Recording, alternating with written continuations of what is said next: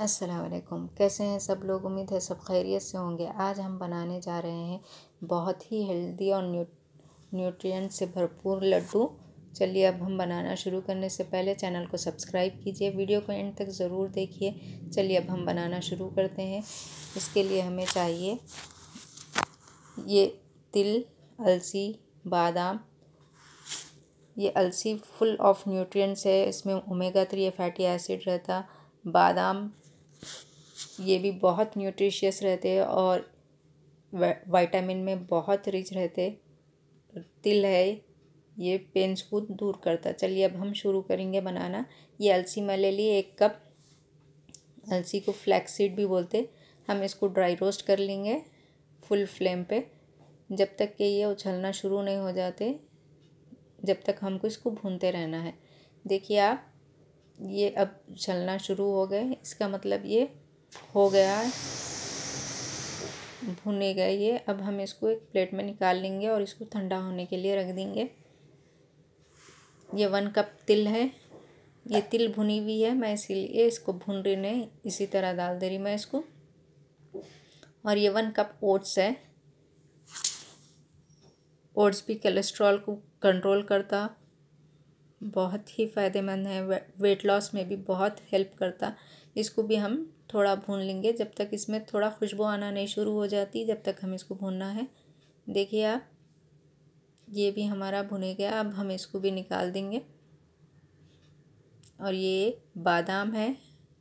बादाम vitamin E में rich रहता। और वेट लॉस के लिए भी बहुत अच्छा है। इसको भी हम भून लेंगे। जब तक इस पर थोड़े डॉट्स नहीं आ जाते रेड कलर के। देखिए ये हो गए, अब हम इसको भी निकाल लेंगे।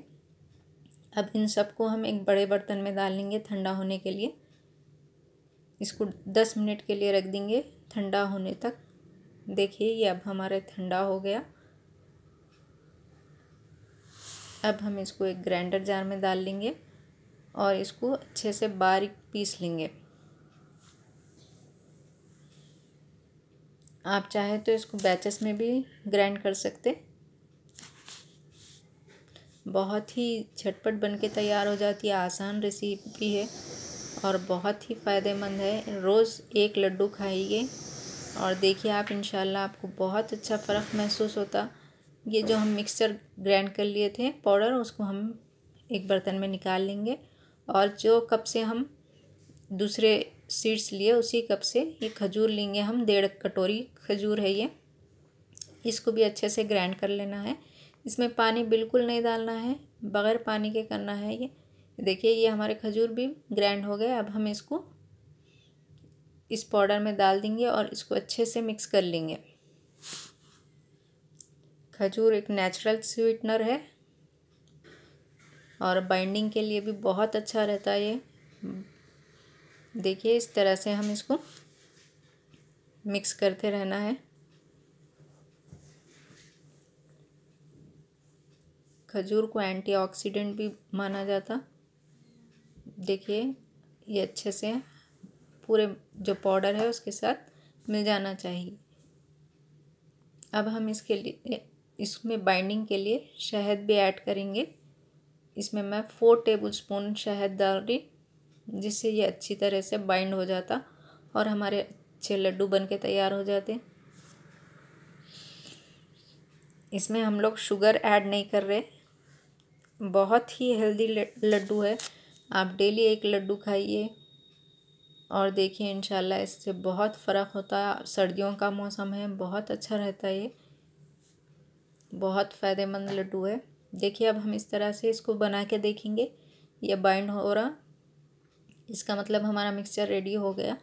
चलिए, अब हम हथेली पे थोड़ा सा घी लगा लेंगे,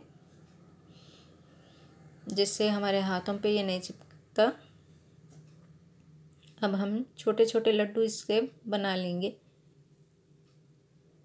बहुत आसानी से बन जाते आप इसको स्टोर करके भी खा सकते आठ से दस दिन। देखिए, ये हमारा लड्डू बन के तैयार हो गया। इसी तरह से हम सारे लड्डू बना लेंगे।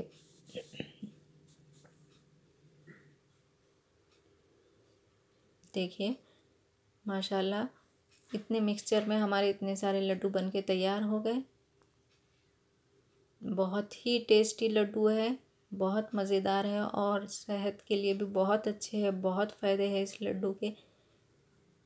एक बार आप लोग ज़रूर ट्राई कीजिए, सर्दियों में ज़रूर बना के खाइए ये लड्डू। इसमें ज़्यादा ख़र्चा भी नहीं है, बहुत आसानी से बन जाता है। रेसिपी पसंद आए तो लाइक कीजिए चैनल को ज़्यादा से ज़्यादा शेयर कीजिए सब्सक्राइब कीजिए। दुआओं में याद रखिए अल्लाह हाफिज़